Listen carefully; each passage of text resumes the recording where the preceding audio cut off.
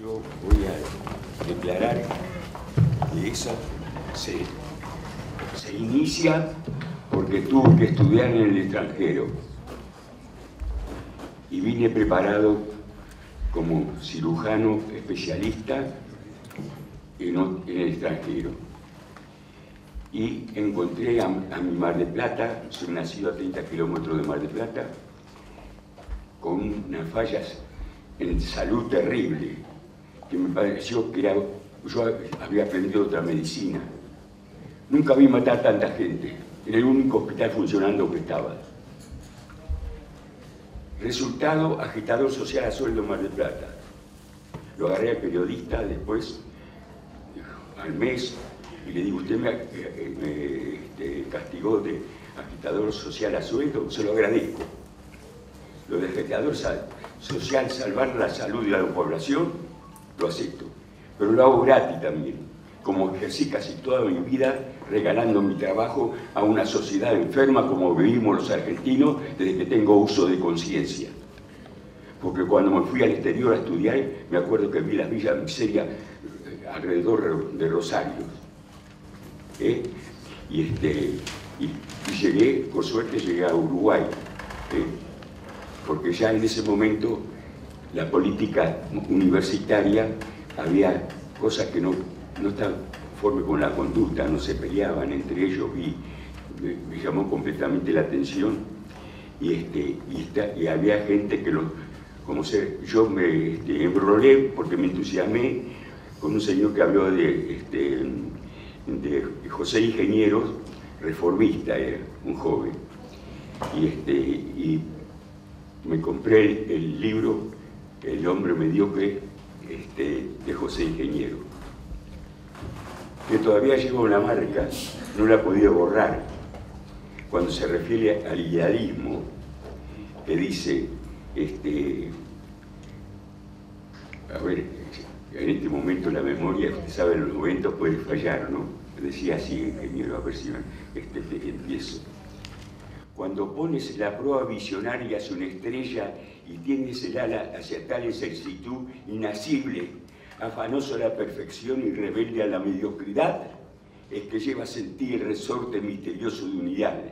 Asco capaz de templarte para grandes acciones, custódiala. Si la dejas apagar, quedarás convertido en fía basofia humana. Y eso lo llevo acá a los 90, porque todavía quiero salvar al mundo. Ustedes saben, todos tienen que saber que la patología de los argentinos la tiene el mundo a gran, a gran nivel. La tercera parte del mundo se está muriendo anualmente de hambre y de enfermedades en un país que podemos alimentar 12 mil millones y somos 7 mil millones. Eso lo aprendí a un suizo, Jan Sigle, que tiene un, un, libro famoso y se lo recomiendo a todo el mundo, lo tiene que leer. Este, los nuevos amos del mundo, los depredadores y mercenarios, con nombres propios, instituciones propias, importantísimas, que son las que dominan el mundo. ¿Estamos? Este Jan Sigle fue presidente de la FAO en la ONU y hace la crítica a la FAO también. Eh, de cualquier manera es un libro que hay que leerlo, porque todo con fechas, actos de toda clase, nombres, y que tiene su vigencia diaria, porque el mundo que estamos atravesando es un mundo altamente enfermo en todos los órdenes. Que siendo racionales vivimos irracionalmente. Estamos permitiendo, estamos permitiendo que Mar del Plata como ser no tenga seguridad. No hay seguridad, vemos los viejitos que vienen este, eh, maltratados y a morirse en las clínicas que hemos privado, que hemos fundado. Yo fundé el, el, el, sistema prepago en Mar del Plata y, este, y, a, y a, a, a, varios gremios arreglé las obras sociales. Pero en ese interín ya fue, fui evolucionando y se me tuve, este país está necesitando cambios trascendentales. Y creé la primera cooperativa de salud de usuario del país. ¿De usuario por qué? Quiero educar a mi pueblo, fundamentalmente educación. Tenemos que cambiar la cultura general del pueblo argentino. Tenemos que avanzar en, en, todo lo que sea enseñanza. Y el sueldo mínimo, señores, debe ser para que viva en salud el, matrimonio y los hijos. Ese es el sueldo mínimo. No es que el, político cualquiera le pone un precio para vivir. No, tiene que ser saludable. Así tratamos de transformar este, este, suavemente nuestro país. Como también cuando entró Alfonsín me llamó la atención, lo tengo que decir porque son cosas que me, me grabaron, creaba, iba a crear un seguro nacional este, de salud, que después no se llevó a cabo. ¿Y sabe qué pensé en ese momento y se lo digo a ustedes? Ustedes saben cómo marchan casi todas las, las empresas que maneja el Estado argentino en todos los órdenes y de hace años. Todos saben lo que está pasando. Y, este, y dije, este hombre a lo mejor se puede equivocar porque todo lo que agarra el Estado argentino este, falla generalmente. Puede ser peor el remedio que la enfermedad. Está escrito en ya hace unos cuantos años, ¿no? Y así seguí escribiendo y últimamente, señores, yo este, profundicé el tema de la salud en general, ¿no? Y epistemológicamente y filosóficamente también. Filosóficamente digo que el posmodernismo filosófico ha fracasado porque todos los relatos que ha hecho y metarrelatos casi todos han fracasado. Pero el que estamos planteando la cooperativa de la salud es el siguiente, la salud social. Es fundamental de la política tener salud social.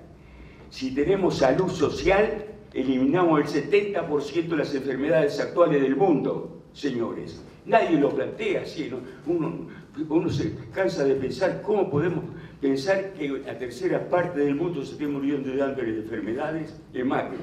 Y la tercera parte de los argentinos en micro se están muriendo de hambre y de enfermedades en países que, podemos alimentar. ¿Cuántos nosotros millones más de los, de los 48? ¿Eh? ¿Cuántos millones más podemos alimentar? Siete minutos, doctor. Sí. ¿Alguna preguntita? No, no, le quedan tres minutos. No, me, entusiasmo porque veo por primera vez lo que planteé cuando fundamos la salud. Eh, venimos a fortalecer el movimiento cooperativo argentino y clamando por su integración. Hace cuarenta y pico de años. Ya, esa fue la de primera declaración. ¿Estamos? Ya tendríamos que tener el hospital cooperativo manejando con una cultura social importante, manejado por la gente, la que sufre. ¿Estamos? No puede haber un pobre en la Argentina. No puede haber un pobre en la Argentina. ¿Y qué hacemos para terminar con eso? ¿Qué hacemos? ¿Qué estamos planteando con seriedad? ¿Eh? necesitamos fundamentalmente que el hombre trabaje, porque el trabajo es salud. Y el mínimo, ya saben, se lo dije, tiene que ser para alimentar con salud a sus hijos, a sus descendientes que no lo ha dicho nadie en, los políticos tampoco. ¿Cuál es el sueldo mínimo que tiene que ser? Saludable tiene que ser. Bueno, y últimamente, este, eh, eh, últimamente me quedo muy contento de escuchar así que se quiere unir todo el cooperativismo, todo el cooperativismo y las mutuales, y toda la gente que piensa en el bien común y estar agradecido porque que pasar por la vida y dejar algo mejor que lo que recibieron. ¿eh? Tiene, que, tiene que pagar por haber vivido el, ser humano, el ciudadano consciente. Tenemos que crear una cultura ciudadana. Si intervenimos en una sociedad, tenemos que defender esa sociedad en todos los aspectos. Y epistemológicamente, este, eh, la salud llega, llega a eso, ¿no? Si no tenemos... Este... Un minuto, doctor, le queda. Bueno, eh, yo le voy a... Este,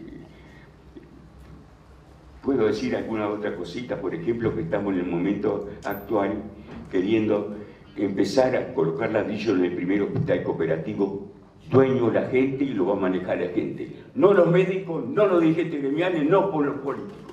Porque si estos tres sintiéramos a fondo nuestras profesiones, tendríamos uno de los mejores países del país, del mundo. Muchas gracias. Muchas gracias, doctor.